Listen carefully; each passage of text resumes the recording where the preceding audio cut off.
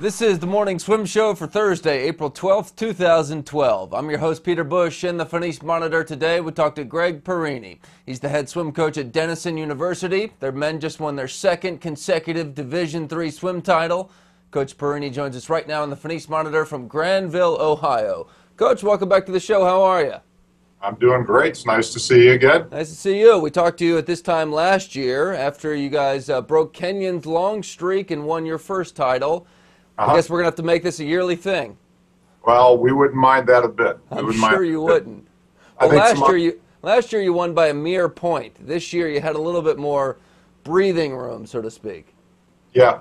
Well, I mean, we we felt like we were a better team going into this year. Uh, more talent, more experience. I think last year's experience of you know, having finally, you know, won the meet served us well. Uh, ironically, it was that experience, you know, but we also, ironically, we had to let go of that meet in order for us to succeed this year. But uh, we thought we had a better team. We knew we were up against better competition too. So you know, I thought the guys did a really good job of rising to the to the occasion. But they rose to the occasion all year long. They answered the bell, you know, from you know from September to March, and uh, very pleased with the way it went. I want to give you a chance to recognize some of your student athletes who did great and allowed this to happen. Tell us about some of those who stepped up at the big meet.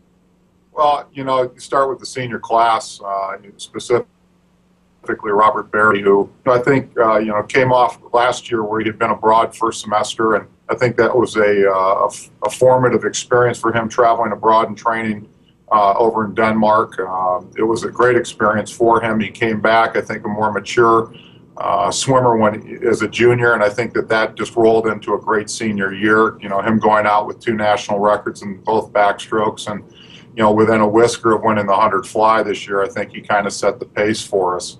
Um, you know, and he set the tone for us all year long. Robert's a very vocal, uh, very consistent leader of the team. He was great in the pool. He was great in the locker room.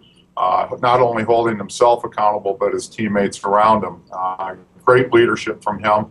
And then you go down to the sophomore class with a guy like Al Weik, who's you know got us off to a great start on Wednesday night with his national record in the 500, uh, going 421. It was an aggressive swim. It was an attacking swim. The kind of you know, it's a, it was a Denison swim from that standpoint. And uh, for him then to come back and, and, and swimming a brand new event in the 400 IM, becoming national runner-up on the second day anchoring our national record uh, 800 free relay on the third day and then winning the mile in national record time. You know, Al was a pace setter for us all along. So we're very, very happy with him. And, you know, the list goes on, but those two are the two standouts for us. And we should note your women did pretty well. The third, I believe. Yeah, the, the women did quite well. We were pleased. They had a little bit of adversity. Our best swimmer was, you know, struggling with the herniated disc. Uh, I should rather, I should say, a bulging disc at the meet. Uh, Alyssa Swanson had a tough time, but the girls rallied around that, and we really posted some great swims. Emily Schroeder, uh, senior, uh, you know, national runner-up in the in the 200 backstroke, and a couple tight finishes in the 2 IM and the 4 IM, as well as Hillary Callan, another one of our senior captains, did a great job leading the team. So you mentioned some senior leadership on the guys' side. Despite that, is it a young team? Are you losing a lot? I guess the big picture question is: Do you believe this could be the dawn of a Denison dynasty?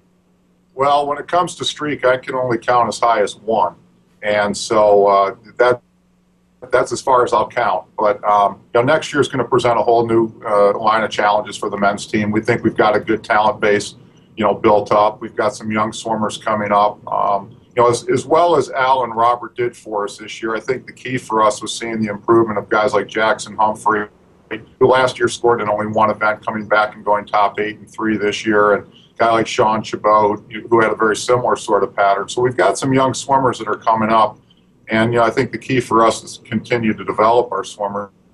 And I think we'll have a competitive team now. Whether that translates into another championship, you know, is, is yet to be seen. But I think we'll be competitive, and uh, we're looking forward to the challenge. You know, we talked to someone from Kenyon recently on the show who said they're actually they like having this great new rivalry with Denison. I mean, they thought it was actually a good thing that it wasn't just chalk it in for Kenyon every single year. Well, I, that's a great perspective. I mean, um, you know, I, we've got great respect for for that for for Kenyon along with every other team in the country, and we look forward to competing against anybody. And uh, you know, this is not just a Kenyon Denison dual meet by any means. I mean, a lot of people want to frame it that way, and uh, we don't look at it that way. We've got to go through a lot of good teams uh, to win this championship, and there's a lot of very, uh, like I said, very well coached teams and, and some you know some great talent out there. So it's not just a Kenyon Denison thing by any means. All right. Aside from great swimming, what is Denison University known for? I think great academics. I think we're you know an academic, academically centered uh, institution. Um, you know, we put uh, we put a great deal of emphasis on student development here, and uh, and it's a beautiful campus. You know, we're set in uh, you know set in Central Ohio, and uh, it's a beautiful area in the Welsh Hills, and uh, so a beautiful campus and great academics and pretty good swimming program. How did you wind up there? Oh boy, that's a, that's a long story. Um, but uh, I knew about Denison uh, during my college days, and uh, I had been coaching abroad and coaching in another small, small college for a while. And uh, I know that the um, I, I, remember when the Denison job opened up. I'm like, you know, that's a that's a, a, a school that could really support a great swimming program, and so I was really excited to come down and and with the idea of trying to develop a program into a national contender. Um, the cupboard wasn't bare by any means when I got here. I inherited a a pretty strong team, one that had been a national runner up on the men's side one year, and a women's team that had kind of cracked into the top 10. And so there was a, a certain amount of inertia in the program when I got here, and I just tried to build on it from there. Well, Coach, congrats on all the success. From Thank the looks you. of your office, you're going to have to uh, find a space for that new trophy behind you, but I'm sure you'll make it work. Well, it's great. Yeah, we're opening up our new natatorium this summer. So new office, new natatorium. So hopefully they'll give me a little bit more space for the hardware. Good deal. Thanks a lot for joining us. Thank you so much. Have a great day. All right, that's Gregg Parini joining us from Denison University. And that's it for today's show. I'm Peter Bush, reminding you to keep your head down at the finish.